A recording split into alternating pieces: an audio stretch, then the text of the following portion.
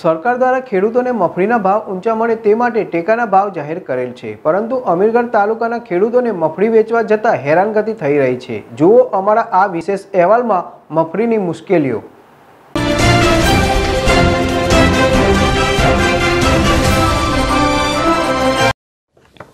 સરકારશ્રી દ્વારા ખેડૂતોને પોતાનો માલ ભાવ સારો મળી રહે તે માટે ટેકાના ભાવ જાહેર કરે છે. ત્યારે આ વર્ષે સરકાર દ્વારા ખેડૂતોને મગફળીના ટેકાના ભાવે વેચવા માટે અગાઉ રજીસ્ટ્રેશન કરવાનું કહ્યું હતું અને ખેડૂતોએ ઊંચો ભાવ લેવા માટે રજીસ્ટ્રેશન કરાવ્યું હતું. ત્યારે આજ રોજ અમીરગઢ તાલુકાના ખેડૂતો પોતાની મગફળી વેચવા માટે અમીરગઢના સરકારી ગોડાઉનમાં પહોંચ્યા હતા. ત્યારે ગોડાઉન મેનેજર દ્વારા ખેડૂતોને કહ્યું હતું કે, મગફળી જે ખેડૂતે ટ્રોલીમાં ખુલ્લી લાવી હોય તે અહીંયા ઢગલો કરી દે, પછી અમે સેમ્પલ લઈશું. અને જો તમારું સેમ્પલ પાસ નહીં થાય તો તમારી મગફળી જાતે ભરીને પાછી લઈ જવી પડશે.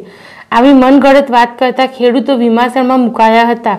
ખેડૂતો દ્વારા મગફળીના ઊંચા ભાવ લેવા માટે અગાઉથી જ રજીસ્ટ્રેશન કરાવી ઊંચા ભાવ લેવા માટે હોંશે હોંશે જતા હોય છે. ત્યારે સરકારના આવામાં માઈ કાંગલા નીતિ નિયમો ખેડૂતોની ઊંઘ હરામ કરી નાખે છે.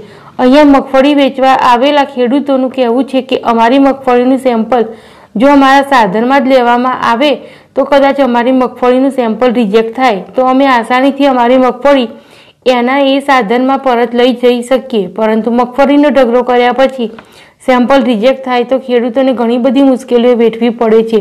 તેથી ચોક્કસથી કહી શકાય કે સરકારના આ નિયમથી ખેડૂતો સાથે શોષણ થઈ રહ્યું છે અને સરકાર ખેડૂતોના હિતમાં કોઈ યોગ્ય નિર્ણય લેતા જ ખેડૂતોને સાચા અર્થમાં ટેકાના ભાવે ખરીદી કરી કહેવાય.